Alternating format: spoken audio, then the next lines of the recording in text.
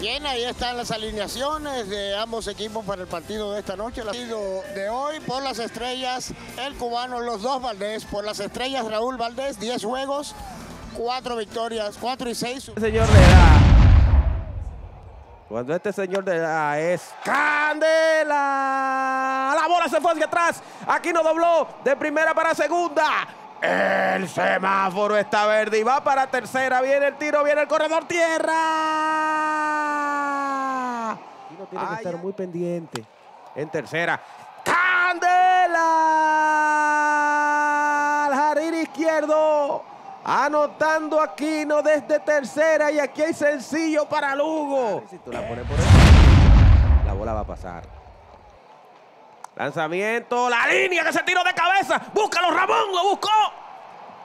Double play. Ha sido su carrera como defensor de aire, tomó la pelota, influyó mucho el tamaño de, Ramón para tomar esa pelota. Ven ustedes cómo muestra la elasticidad de Ramón Hernández. Vuelve de nuevo.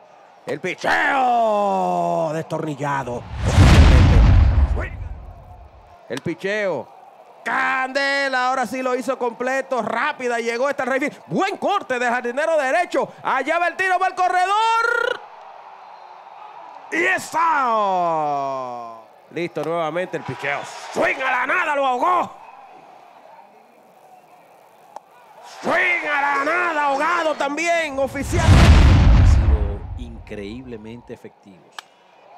Candela entra el centerfield. Dobló de segunda para tercera Sergio Alcántara. Y allá está llegando. Mientras tanto, anótale sencillo. En el conteo. Hay un timeout. Quebró Time el out. reloj. Uy. Hay un buck. Un buck. Llegó el Buck.